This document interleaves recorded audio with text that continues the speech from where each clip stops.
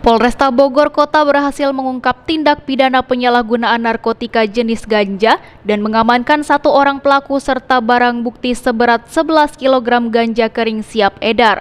Berawal dari informasi laporan warga terhadap seorang pelaku berinisial U, polisi langsung mendatangi pelaku dan cek urin pelaku, hasilnya positif menggunakan ganja. Setelah dilakukan pengembangan dan dibantu warga untuk mencari barang bukti dan didapatkan barang bukti seberat 11 kg ganja yang disembunyikan pelaku beserta komplotannya di persawahan di wilayah Cikaret, Kota Bogor. Modus dari pelaku pemilik barang bukti tersebut didapatkan dari dua orang pelaku yang masih DPO.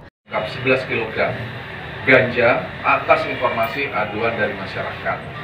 Nah, ini ada yang menginformasikan terkait kecurigaan terhadap salah seseorang ya, yang inisialnya U, yang kemudian kita respon, kita cek, kemudian kita cek urinnya dan didapati hasilnya positif, ya, positif ganja menggunakan ganja.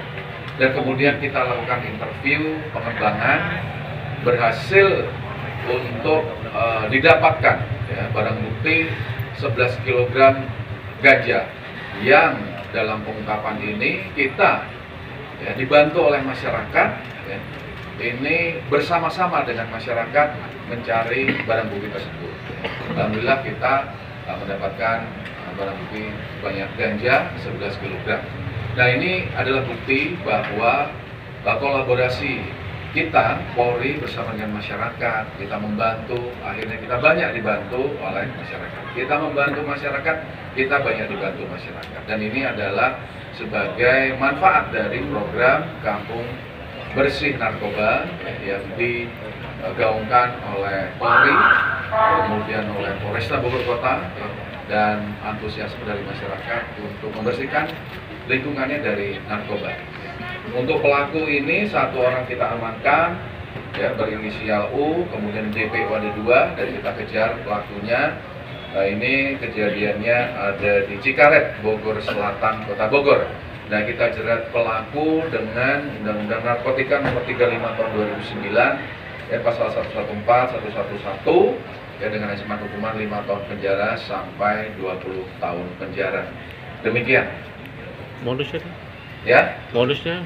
Modusnya pelaku memiliki uh, barang bukti tersebut ganja yang uh, didapatkan dari seseorang yang DPO tersebut ada dua orang yang uh, segera kita tangkap pelakunya ya, dan berniat untuk menyebarkan kepada masyarakat lain. Ya.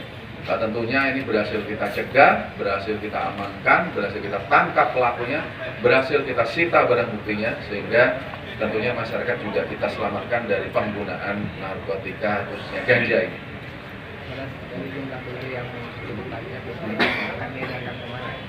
Oh, di wilayah Kota Bogor, wilayah Kota Bogor dan sekitarnya.